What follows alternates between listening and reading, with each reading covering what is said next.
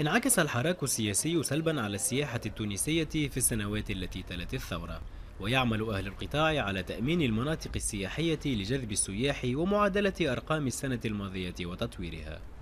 نخدموا تقريبا بصفة يومية ومتواصلة مع قوات الأمن نتاعنا باش نامنوا من كل المنشآت السياحية. والحمد لله حتى كان صارت عمليات عمرها ما كانت معناها عمليات اللي مست مباشرة آه، معناها النشاط السياحي وإنما كانت عمليات بعيدة شوية على الحدود واحد رغم اللي أثرت بصفة سلبية وما خلتش معناها نفس النسق التصاعدي اللي تمنيناه لكن زاد ما ما كانتش معناها سبب في آه، معناها تراجع الموسم السياحي.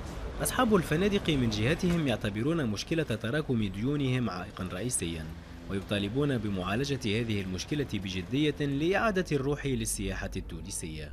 الفنادق هذه واللي عددها هام آه، تراكمت عليها المديونية ووقع معناها تأثير كبير على بقية الفنادق لأنها جبرت بوضعها المالي جبرت باش تخفض في أسعارها وجرت السوق كاملة إلى تخفيض الأسعار وهذا دخلنا في دوامة غير مقبولة ويلزمنا نتلافاها ونوقفوها.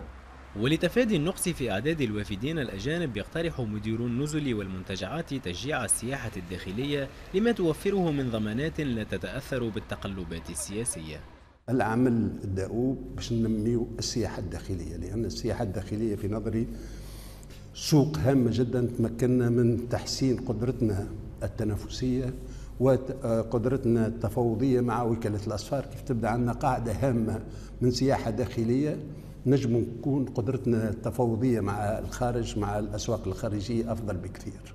ويأمل المهنيون أن تعود الحركة لقطاع السياحة من خلال استقرار الأوضاع السياسية في تونس بعد الانتخابات. ثلاث سنوات بعد أحداث الثورة ولا زالت السياحة التونسية تبحث عن توازنها. بين مساعي الحكومة والمهنيين لإنعاش القطاع والتحديات الأمنية والسياسية لتوفير الهدوء والاستقرار. أيمن الرزقي سكاي نيوز عربية تونس.